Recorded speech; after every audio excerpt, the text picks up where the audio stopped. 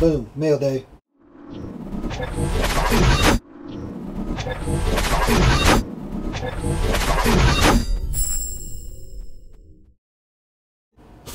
We got a couple other things too that we got yesterday. I'll start by just showing those a little bit. So we got this from AUC RC. Um, check out his channel on YouTube. I'll put a link in the description below. Uh, I won his contest basically. He did a little contest. This is actually made by Tinker Time. So also check out Tinker Time. He does a lot of 3D printing stuff, and uh, I think he's working on vacuum forming for Lexan bodies, so that'll be super cool. Anyway, we're gonna do something really neat with this, hopefully, and uh, all we got to do is get a cab, and we think that GNC RC is gonna hook us up with a cool older style, uh, maybe like a Apache type truck, 3D printed Apache Apache cab in black, and we'll just leave it raw. We'll leave it all raw, printed black. Um, maybe I don't know. We'll see. We'll see what happens. Anyway, huge shout out to AUCRC. Thanks for that. Uh, I was happy to be part of your little contest. We also got some more AliExpress specials, some more axles. Um, we already opened them up and made sure everything was moving nice and smooth, and it is. And we're going to probably put these on the rock bouncer because I think it's still running stock axles. Um, we like the red, so we'll put them on the red rock bouncer probably. Uh, we'll have to put plus fours. Speaking of plus fours, I think that's what this is. Let's open her up. This is from Mr. Nick himself. We registered for his Bronco Crush video and picked up some CVDs and uh, also I always use more stickers. It's always good. And also we got this little guy. So this is a uh, voltage alarm reader. Tells us how many volts we've got in our battery. Actually, do I have a battery here? I think I do. Oh, you know what? This battery doesn't have a balance cable. Can we plug it in anyway? There we go. Boom.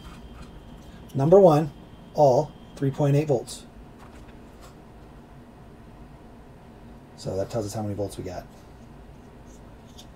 Uh, we're going to use this for a couple different things. We have one rig that doesn't uh, doesn't have a low voltage sensor in the ESC, and then we also have a bump start for a nitro, and the battery, and there's a 3S to run the bump start, but uh, we have no idea how many volts are in there when we're doing it, so we don't want to run that too low and then ruin the battery.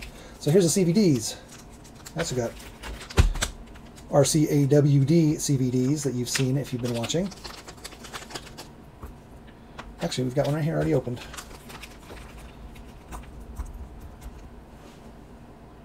So these are the mofos. Now these are made out of spring steel. And like he says, not Springsteen, spring steel, which is what they make swords and stuff out of. So it should flex a little before it breaks, whereas these will just snap. Oh, looks like we got a little extra turn. These are plus fours, so that's awesome. So looky there. That's quite a bit of extra turn radius. Probably going to be limited by your uh, steering knuckles and stuff. I like it. We'll just have to see how smooth they are. So on these ones, you can actually pull this little sleeve out. Oh, I don't want to lose our pin. But then you can pull the pin out, right? Here, I'll show you. And then you're able to see the actual ball joint, or whatever you want to call this, the CVD part of the CVD, I guess. Um, and you can see how thin that is. So I'm, that's a worry that it's going to be too thin and potentially be a breaking point. Whereas on these, we can't pull the pins out. Apparently they're pressed in, so you can't really pull them out. And so I can't see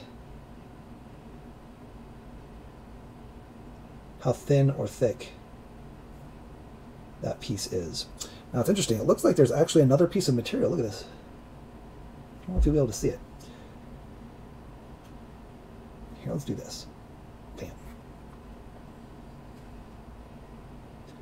So it looks like there's another little, can see a little piece of metal right there. Sorry, my fingers are really dirty. Been doing a bunch of stuff. Either way, there's that little piece of metal in there. Do you see that? And it looks like it puts a little bar back behind the pin.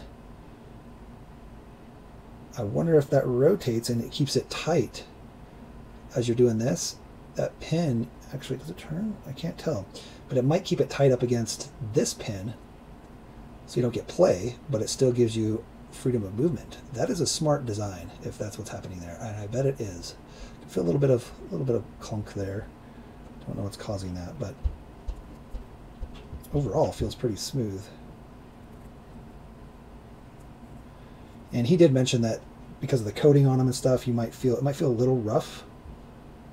I can feel a little bit right there, but I mean, you still have way more turn radius, and uh, so you're probably never going to max these out anyway. More than likely, it's going to, like I said, it's going to be your steering knuckles and whatnot. All right, anyway, let's get on to the next one. This one is from Amain. Amain Hobbies, and that's because it was the absolute cheapest I could find it. Shipped to my door, taxes or no taxes, all inclusive. We got it for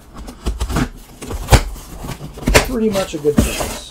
May not be new for many of you, but it's new for me.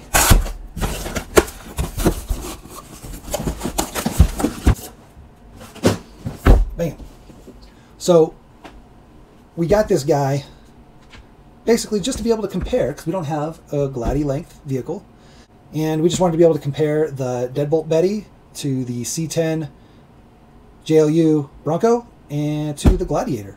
That way you can kind of see all three platforms and the differences between each platform as far as length's concerned or electronics. And we felt what better way to show people than to show people. So um, we're going to do a video with that coming up just so that some of the newer guys know what they're looking at, somebody who's never bought one. And then we'll probably do some stuff. We have some uh, cool scale stuff that got sent to us. Like this rack. We got a video on this we'll show. Some net. We got some lights, a light bar. I don't know if the light bar's for this or for the um, deadbolt. I can't remember. I think it's the 55 millimeter, so I think it's for the deadbolt. Either way, we're excited. We will uh, share our adventures with this. Be sure to subscribe. Be sure to like. Be sure to hit the bell. Uh, comment below. Is there anything in particular you want to see? Maybe we'll pick it up and just kind of do a review on it for you if you want to if you want to see it, depending on what it is and how much it's going to cost us and how interested we are in it. Tell us what you want to see a review of or a box opening of, and we will um yeah, maybe we'll do it.